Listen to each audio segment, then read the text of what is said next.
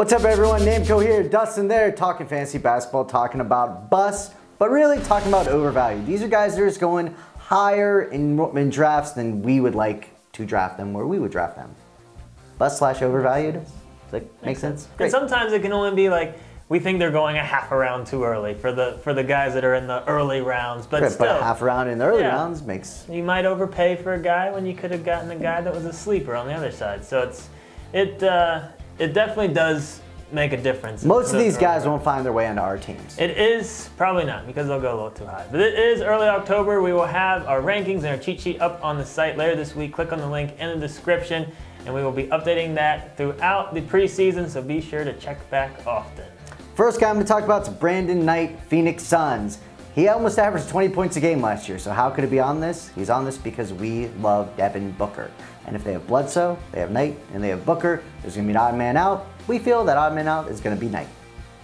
Nikola Jokic is next. Now this is a young guy, young center that we do really like. And but the problem is everybody likes him. that has driven his draft position way up. I mean, he's going you know, we don't really have a lot of ADPs to go off of, a lot not a lot to really base this off of in terms of like where he's going, but where we've seen him ranked and where we, it seems like he's going to be going, it's like the third round. I mean, he could easily average a double double.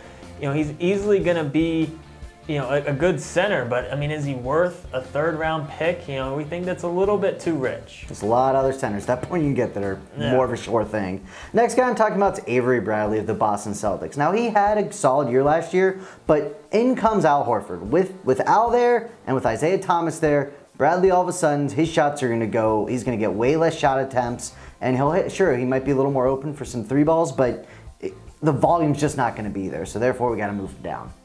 Miles Turner next for the Pacers. We do like this guy again. Like, this is an exciting young player, but people are just getting too excited about him. I mean, he had a run last year where he was start, playing starter minutes. He was around 13, 7, and 2. And I think that that's very plausible that he could he could average that for the whole year. But again, like he's going right around where Jokic was going, right around kind of the where he's being projected is in the third round, and we just think that's just a little too early. I mean, he's not just going to go from being a role player to going straight to 20 and 10 with three blocks a game. I mean, it's just it's we're not seeing that big of a jump. All right, the next guy, while it kind of pains me to say this, is Otto Porter of the Washington Oh, your Bullets. boy. So, and yes, Bullets Wizards, I still come to Bullets. Not my boy. I've never liked Otto Porter. First of all, I didn't think he was a great fit for, I mean, he was the best pick they, I digress. 11 and 6, that was kind of what his best output was last year. That's what he's going to be again this year. So, sure, that could be good as a deep sleeper, things like that. But this guy's ranked, like, in pre ranks 14 spots over Bradley Beal, his own teammate, who's significantly better on him. I get it. Beal gets hurt. You know else he's over? He's over guys like Drummond or Jabari Parker. Th- That's you're not doing nuts. that. You're not He- doing that. It's near, he, he's not that good. He's, he's the, he is the, the fourth option on the offense, and he's not even an option. Can't even open threes when John Wall gives him open threes. like, makes no sense. Uh, that's good times. Kemba Walker's next. Now this is a guy. He had a career year. His percentages were up.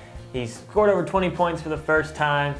You know, it's and he's going to have another good year. But we're just calling it a little bit of fluke. He was asked to do a lot for that team last year out there with the Hornets, and we just see him going back to where he's been over the last handful of years or so, right around like 17 points. Solid stats across the board, but you're gonna have to spend an early second round pick probably if you want him on your team. And we're just saying that's probably a little high. I'd rather have another early second round pick. Yes. All right, Rudy Gobert is the next guy I'm talking about, and, and Gobert really burned people last year, right? It- he went at the end of the first round in a ton of leagues, and last year averaged nine points, 11 rebounds. This year he's going just slightly lower than that, which is still nuts. That's what he is. He's a double double guy. Sure, he's going to get you the blocks, which are really nice, but you know you can get Julius Randle 70 picks later, and it's going to be similar production. So don't waste that early second or even late second on him.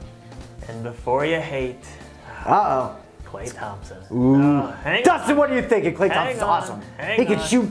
He can shoot. He can hit threes. Someone has to get hurt out there with Durant coming. I mean, Curry's probably, you know, he's going to score a few less points. Draymond Green doesn't score a ton of points anyway.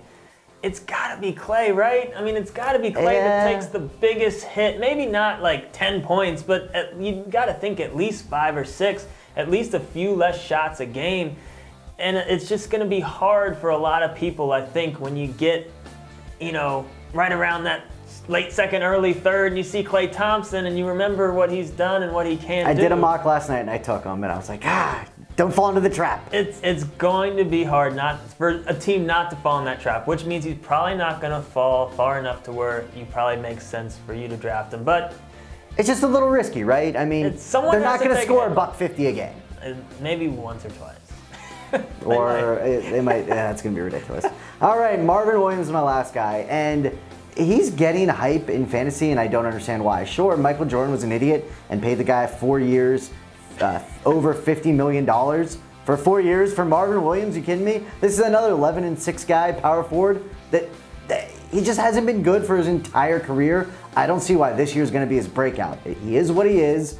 He shouldn't be going in the middle rounds of drafts. He should be going, if anything, deep leagues at the very end.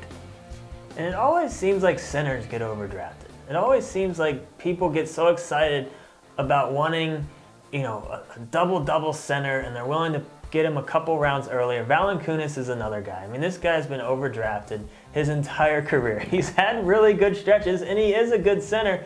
But again, he's kind of going late third, early, early fourth. And like I like what Brent was saying earlier with Randle, like you know, if you're just worried about rebounds, you know, you can get some guys later. You know, a lot of power forwards have center eligibility, so you can look at those guys, and you don't have to have a true center. You know, like pay attention to, to where the eligibility is and, and get some late round sleepers and, and get some of your more skilled positions around that. He's also being drafted because Bismack Biyombo's gone. It's not that big a deal. Get what? He played all the minutes anyway. Jeez. It's not that big a deal. So this is our bust slash overvalued again. We like some of these guys. We don't think they're gonna have bad years. We just think they're going a little bit too early. Three. That was Subscribe to our channel. Give us a thumbs it up. perfect. Leave us some comments, good or bad. Hopefully good. I Klay Thompson did because he's gonna be awesome. 35 a game. Easy. Easy. Easy.